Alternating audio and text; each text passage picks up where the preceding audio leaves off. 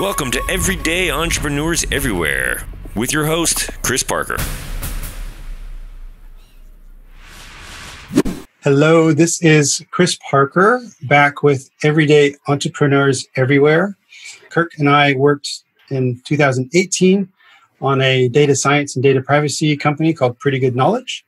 Uh, before that, he has an incredible career in the in the military and in the intelligence community. Wonderful to see you again. And would you please tell people who who is Kirk Wiebe and and what does what, what do you do? And really interested in why do you do what you do?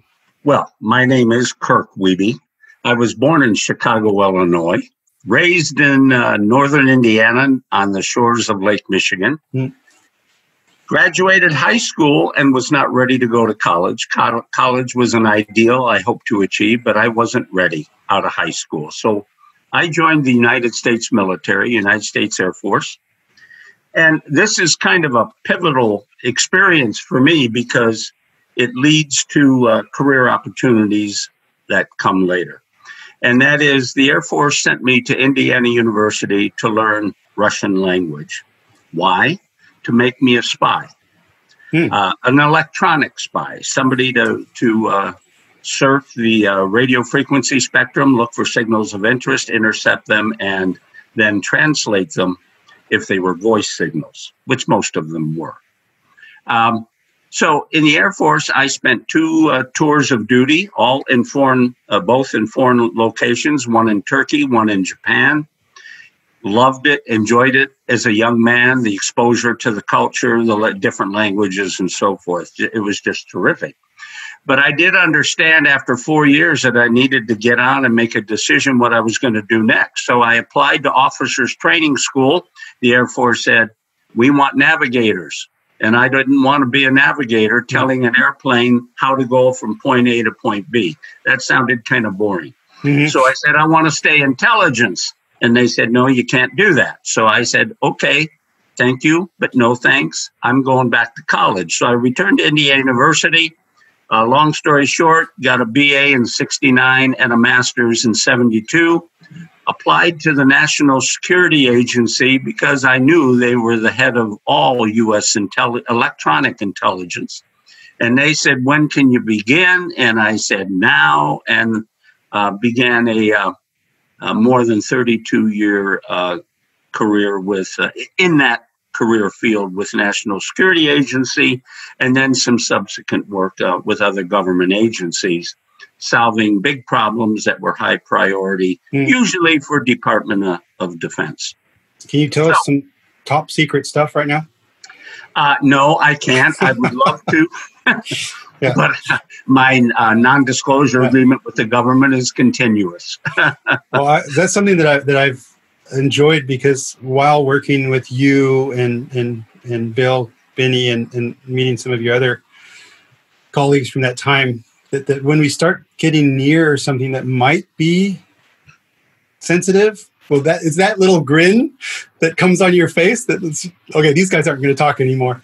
And uh, i'm always curious what's behind the, the grin but um, but even even um, go moving forward through your time with the uh, the national security agency and there is a movie about this um, a good american you know amongst others um, that sort of outline the hows and whats but after that that career and loyalty to the U.S. government, um, can you just give us an, very briefly what happened? I think around 2001, 2002. Why why you decided to walk away and um, pursue yeah. a different path? Yeah, this is important. Um, it's an important life event, probably the biggest life event in my life. I think. Um, we discovered in 2000, right after 9 11, which should never have happened, by the way. It should never have gone undetected by the National Security Agency or the intelligence community. It's a shame that will forever live on the reputation of the uh, intelligence uh, community. Um, but we discovered that the powers that be began to turn the weapons of surveillance against the American people. Now, imagine this. The US is sucker punched by foreign nations, um, uh, Muslim terrorists, if you will. And we begin to spy on Americans. Um, is that congruent? Uh, no, it doesn't seem to make sense. And so I, I do believe there was another agenda here.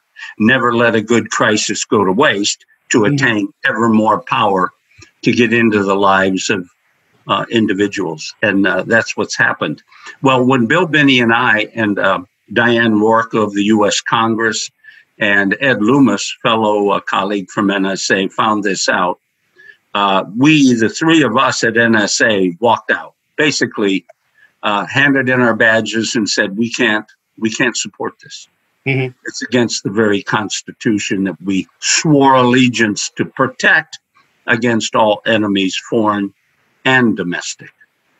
And so we walked out of the building, and for a while we were wondering, what can we do to get this story out? And um, when when you've been exposed to secrets all your life, and this was also treated as a secret, it's very hard to bring yourself um, to defy that agreement. And and but we were finally advised by a lawyer, a constitutional lawyer, that the best way to go was to make the story public. The more you withhold it and try to work under the radar, the easier it is for the government to succeed in shutting you up. Mm-hmm. So we ultimately did go public with it and blew the whistle on NSA. And um, the thank you we got for that was a raid by the FBI in 2007 that appeared at each of our houses, about a dozen agents at uh, 9 a.m. Eastern Time on 26 July 2007 and they proceeded to enter our homes, uh, go through everything, grab computers, anything that had a a, a, a memory, everything from digital memory to notes, and take it away. Well, long story short, we ended up suing them for taking our equipment. We had done nothing wrong, and we ended up winning that in court without a lawyer, using our own expertise to counter the which is the, which is already incredible. So yeah, yeah, and that that's um, thank God for that. But it was a shock. Yeah. And then roll forward, that was 2007. Um, roll forward, like, there, and there's a lot that happened in between.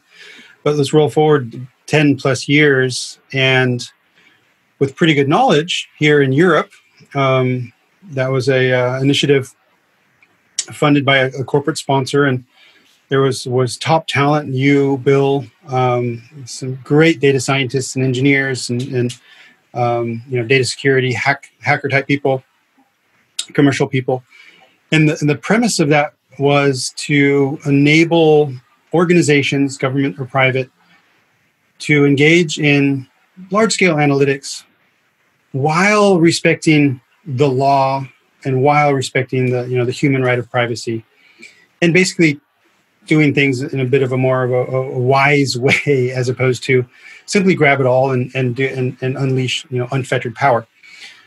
Can you can you talk a little bit about what what was your motivation for? Basically, you were flying to Europe every other month, working with insurance companies and banks, and you know part of the Dutch government. Um, you should be retired. Why were why are why are you so yeah, passionate you know, still yeah. about these topics? It is um, a great question for this reason. Um, although we attempted to blow the whistle on the wrongs being done by the U.S. government's uh, intelligence community in surveilling Americans um, and innocent people all over the world, uh, not just Americans, um, it ran against our DNA. As I said, we were sworn to uphold uh, the Fourth Amendment of the United States Constitution, which says that a person should be secure in their personal effects and communications and things. And so this was a matter of principle. This wasn't just a business proposition. This was what that had some dollar value that we were willing to be bought off. No, it was a principle we were raised with, swore to, and to this day, no one's relieved us of our oath to uphold that constitution mm. with that right of privacy. And uh, we just believe it ought to be for uh, the world, not just Americans. And uh, so we promised ourselves to stay in the fight. So when we got the opportunity to work uh, in terms of um, form the business of PGK, that principle uh, drove a lot of our behavior. Why did we go to Europe? Well, Europe's we saw was easier. It was a more friendly to, to Bill and me. Uh, we we didn't have natural enemies in Europe. Most Europeans viewed us as um, good people. Well, well plus GDPR had well not far before that just happened, and so you know European government and institutions were leaning into privacy as opposed to you know trying to find ways to defeat it. Absolutely, yeah. and and and you have to understand that Bill and I knew that it was eminently possible, eminently doable, not just possible, doable to surveil the world and not violate the rights of innocent people. Throughout the ages, law enforcement people have focused on people who are either bad or suspected of being bad. Mm-hmm. You should not include that to mean innocent people. Why would you do that? You end up wasting your time. So, from a practical business approach, it's stupid to surveil a bunch of innocent people and spend that time and money. So, we knew how you could recognize probable cause, an essential principle under our Constitution that enables a court, if you demonstrate probable cause, to reveal the identity hmm. of a person and their papers to law enforcement people. So we wanted to apply that in data.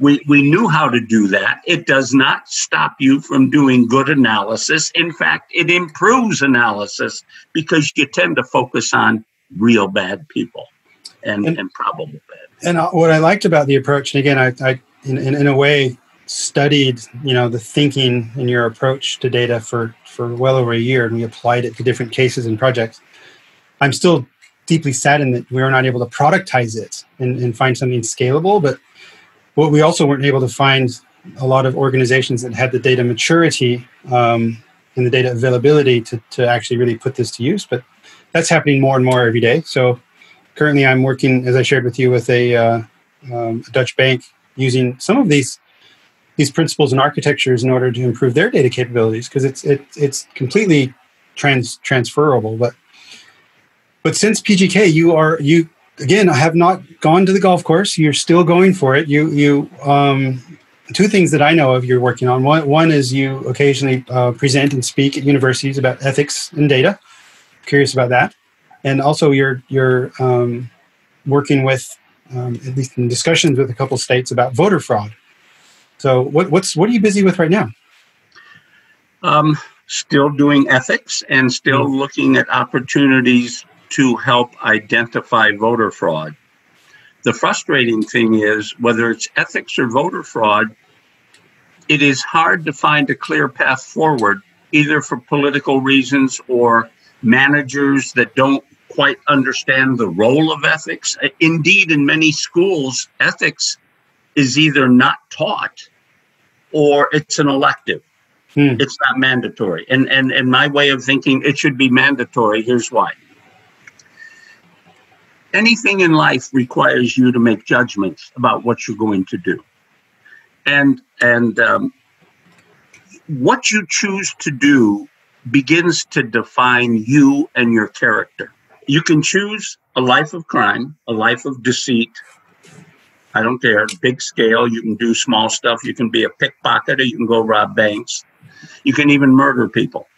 Or you can choose a life that's respectful of others, at least initially, until people prove you wrong, that they themselves are bad, and then you make a choice not to affiliate with them. So we, we make cho- choices in life. and uh, it defines us on what we want to be, and we can we can make conscious decisions about what we want to be. So it's it's um, within our own sphere of influence to make those decisions. Now, ethics, frankly, is at its most basic level uh, um, a definition of what is right and what is wrong.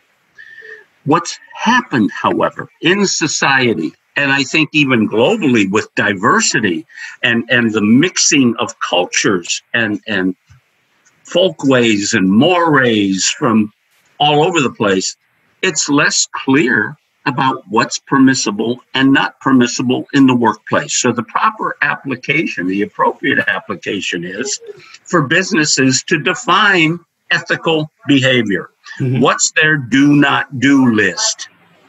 Do not do this, do not do that. And if I were an employee or someone looking for a job, I would want to hear from that business that I'm talking to what their code of ethics is have they even thought about it? If they don't have a list, that tells you a lot. Well, Kirk, um, just to challenge a little bit, and I love challenging you. Um, sure. Isn't it so obvious? Is, isn't it almost an insult if a company does have have a code of ethics? Shouldn't shouldn't we just know that? No. Okay. Um, okay. Uh, what we find out is that there are some cultures that will uh, tolerate a certain amount of what mm. we would consider to be unethical, maybe even petty larceny. Mm-hmm. Well, I needed a dollar. I needed two dollars, so I borrowed it from the coffee fund for two weeks.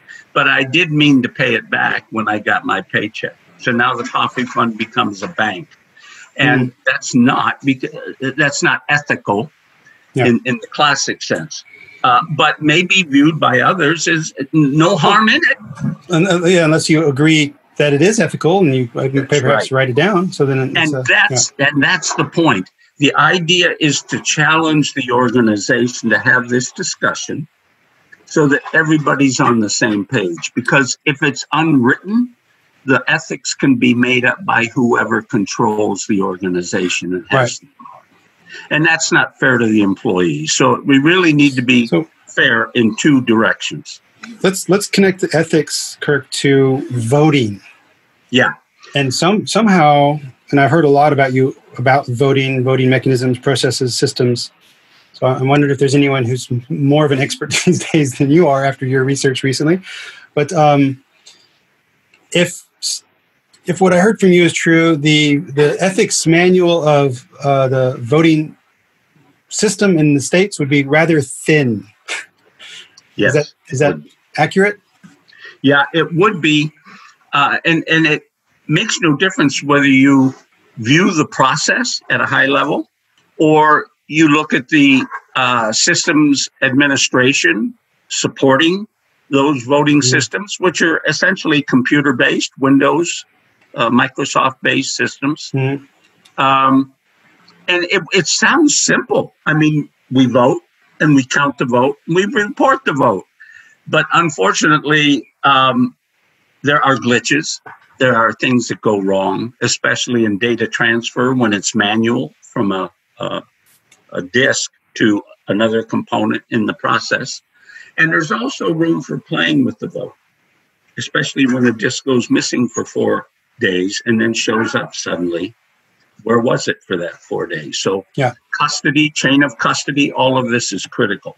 So, as more voting fraud is uncovered, and it is being uncovered, um, there's more concern about what are we going to do. Now, the voting in the United States is controlled by the 50 states and not in unison. They each mm. can buy whatever voting apparatus and system they want to. Mm. are three major vendors that basically have a chokehold on the marketplace. And they often sit on many oversight committees. So you've got the fox uh, watching the hen. You know, it's unbelievable. So lots of room for disorder, uh, corruption, playing around, especially in voter registration rolls as well. So Bill Binney and I sat down, and as we learned about this and, and confirmed that there is a problem, And there have been major reports that I can quote for people published by third parties that verify that the, mm. these systems aren't even properly maintained. Windows XP is still out there. I mean, mm. you know, Microsoft stopped support quite a while ago. So, anyway, um, it's the politics of it. Some people are happy with this loosey goosey mm. system. Other people don't know what to do. It's a second thought. These um, machines and, and voting process is not well funded by the states. So the federal government often has to bail out the states with extra funds, but the federal government has no role in regulating it. So we've got 50 entities all doing it slightly different. Nobody's particularly healthy, some doing it better than others. And so we are considering developing a way to replace the existing process with something much simpler, much more secure, mm-hmm. tamper proof, verifiable. Uh, but that'll be in the future. That'll be in the future. So if there's someone who's involved, even internationally, with voting systems, voting security, it's almost it even comes down to societal trust. Yes. You know, you know so because if if we as citizens in any country, I think, are, don't have that trust of the transaction of the vote, then then why vote? You know, because because it's already it's your, it's your, only chance to voice your opinion. Mm-hmm. Yeah, and it should be sacrosanct. It really should be.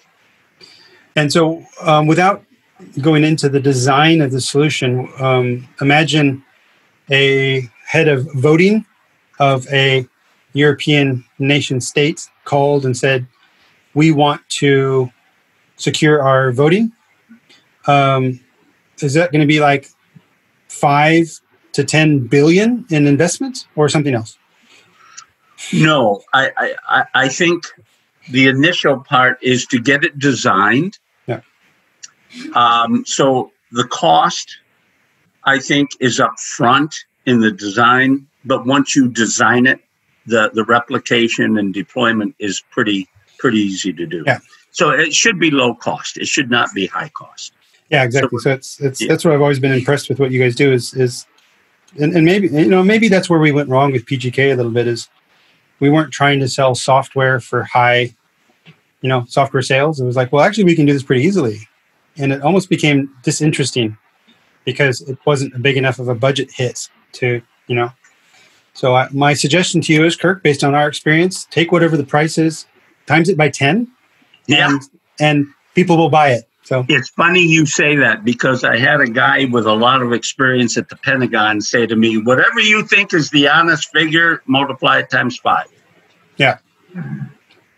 Same same sort of idea. So Kirk, you have been um, a bit anti-establishment, you know, for quite some time, and and even raided by the FBI unjustly. Um, how do you keep going? you know, you, you, and I have had some time at the gym here in Amsterdam, you know, with a trainer, um, you know, keeping our bodies, you know, in shape a bit. I miss those times. Uh, we've also had hamburgers and other things to balance that out. Of uh, you know, but but how, how you you as a person, as a human, and, and this is a question for any you know entrepreneurial spirit, you know, someone who's you know pushing that boulder uphill. How do you keep going? What's what is your uh, trick of keeping your energy flowing? I um, part of it's my nature. I, I, I I can't sit idly and do nothing, and I can't just play solitaire. Hmm. There, there's no reward in that, and so I have to be immersed in some something. It doesn't have to always be noble, but it should be something hard and worth doing. Mm-hmm. And it's not always financial. It's more about principle and achieving and it's very centered on on mankind and doing something worthy and leaving yeah. something behind. So that's what keeps me young. It keeps me going. And even though i know the next 10 chances may fall through you never know what's going to happen. Yeah.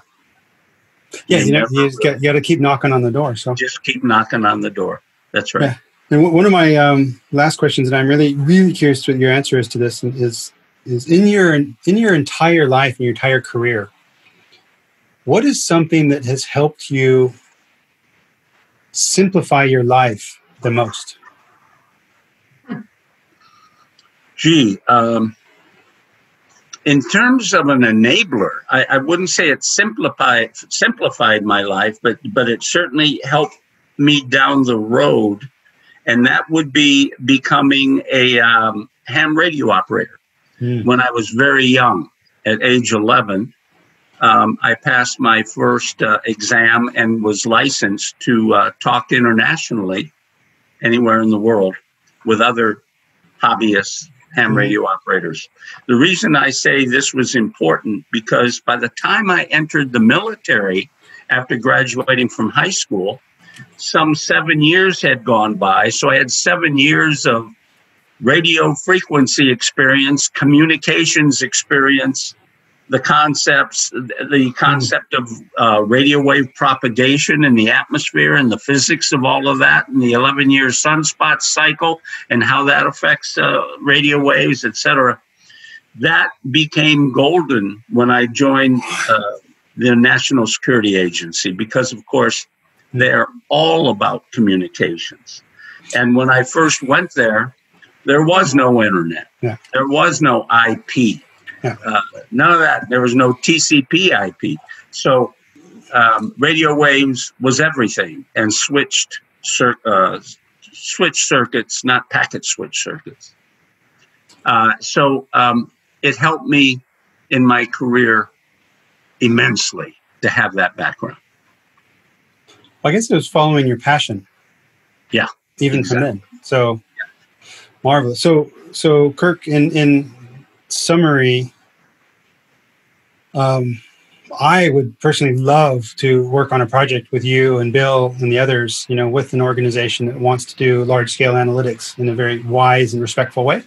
So I would invite anyone who's who's uh, listening to this that, that, that, says, "Hey, we want to do big things with data in a um, very simplified. That doesn't mean easy, but a very simplified and efficient way that respects the law and privacy."